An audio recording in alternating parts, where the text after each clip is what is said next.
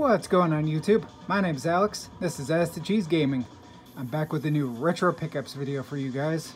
Oh, is this one gonna be a fun one? I've been long overdue for this video.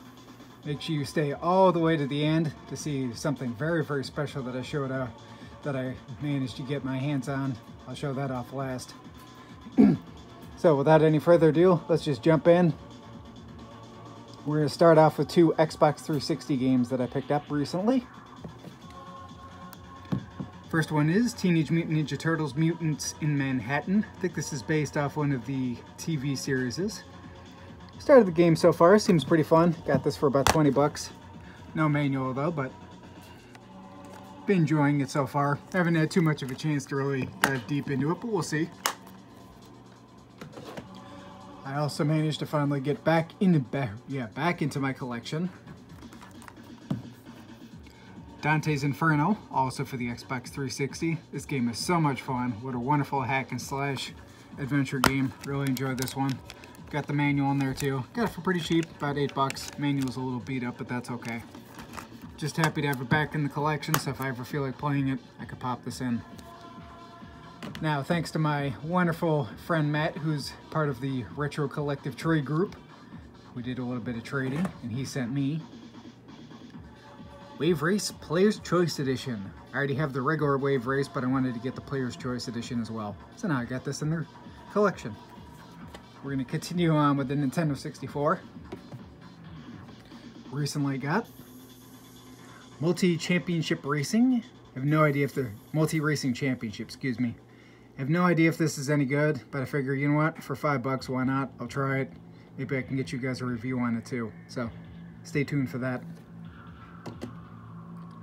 one of the games that I picked up for my buddy, which I'm going to be sending him since he gave me Wave Race, because he's missing this in his collection. Triple Play 2000. Unless you're a real hardcore baseball fan, I wouldn't recommend this one. I think Major League Baseball featuring Ken Griffey Jr. is the way to go for baseball games. Just stick with that one, yeah. Everything looks pretty good. Label's a touch faded, but beyond that, game's looking pretty clean. You got it nice and cleaned up for me. There was actually a bunch of permanent marker on there, but I managed to get it all buffed out, so games looks a lot cleaner now.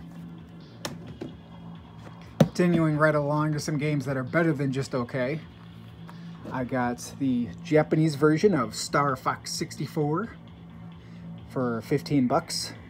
Now in order for this to play in a English system, the pins in the back, which I'll show you guys, right back here, this is actually different. This doesn't quite fit into the standard Nintendo 64.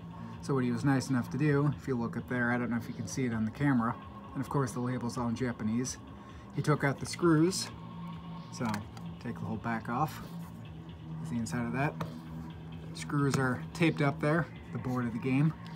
And all I have to do, let me make sure I don't touch anything I shouldn't, is just pop the game in like that. It plays just fine. If you guys have been paying any attention to my channel recently, I'm sure you've seen me play some of this in a video, enjoying it. If you want to see more, feel free to leave me a comment down below.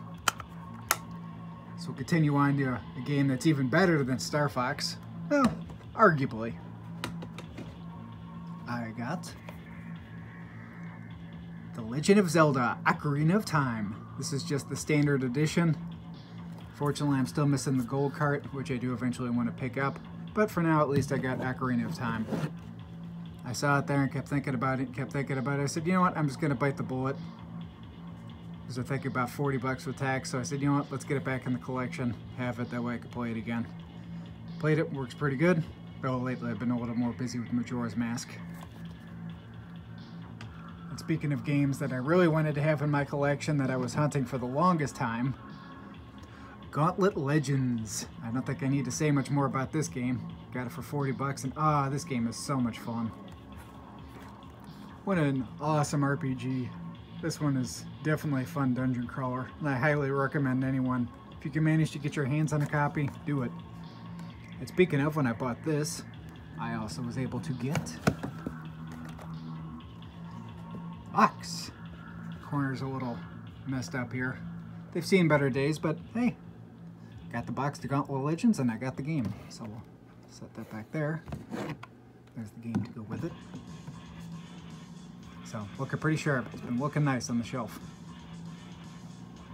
Now I also have a recent package and trade that I got, so we're gonna dig right into the trade.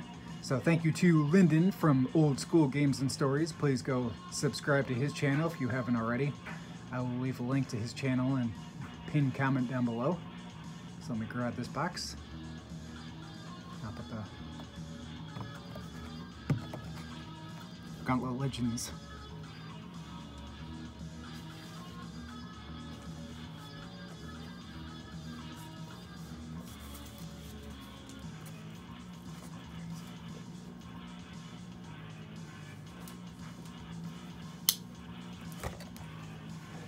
So thank you again. I did a cool trade with Lyndon, so feel free to watch his video and see what he sent me. Oh, let me crack this box open on the bottom.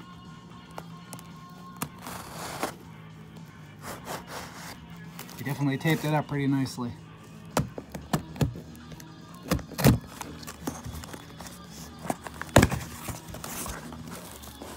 More bubble wrap. You never go wrong with bubble wrap.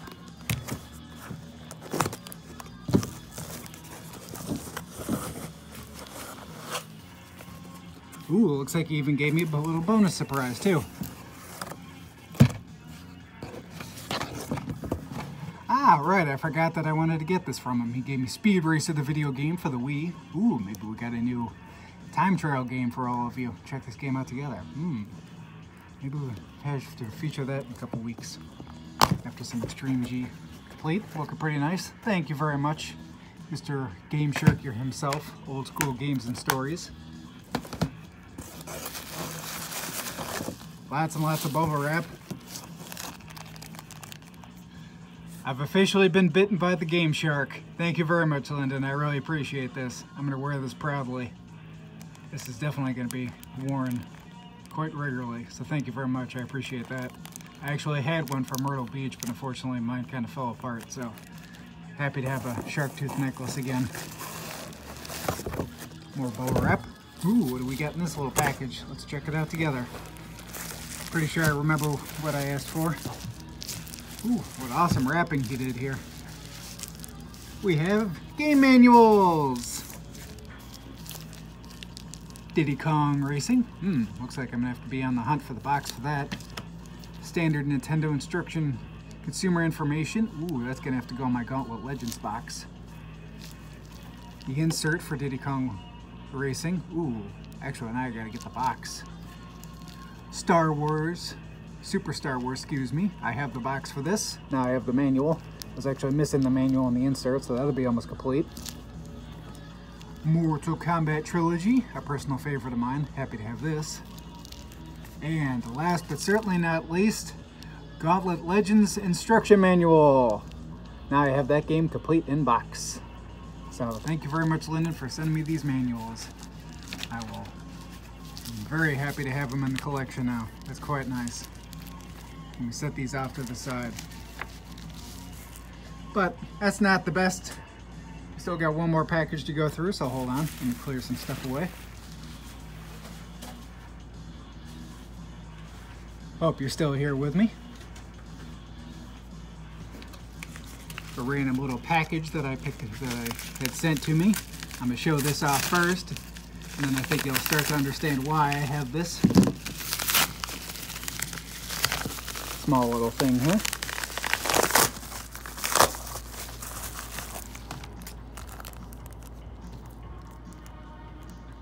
This is the little clip because dun dun dun can't believe I have this in the collection now. Let's go!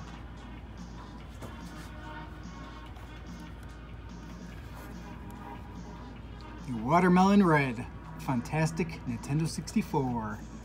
Now mine and in the collection. But the issue is that this little part is the wrong color. So right now we're gonna pop that off and we're gonna put the proper one on. No expansion pack to it. It's the standard. So let's do that right now.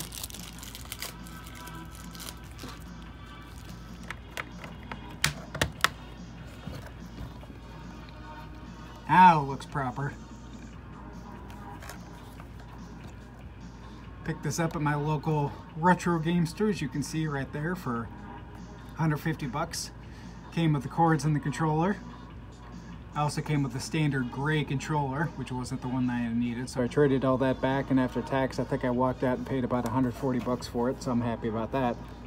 Now, what would this controller be if I hadn't also purchased?